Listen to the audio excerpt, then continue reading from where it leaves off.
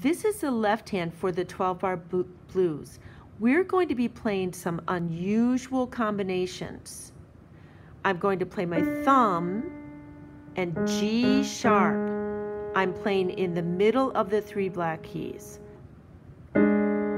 Wait, wait, and then I'm going to step down. My, my lowest part of my hand is going to be playing a white key now. My pointer finger is going to play a black key. Look at that again. I'm going to switch positions. So right now I'm on white and black. Now I'm going to be on black and white.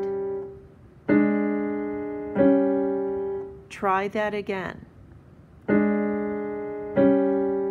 One more time. One last time. Now listen to the way it goes in the song.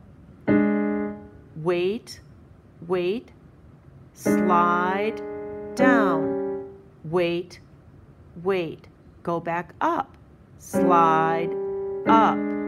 Wait, wait, wait, wait, wait, wait.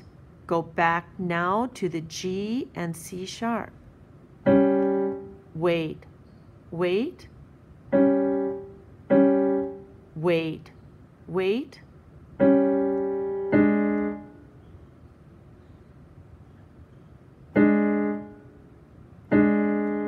Now we're going to go up one more. So I'm going to put my thumb on a black key, even though that is a lot shorter.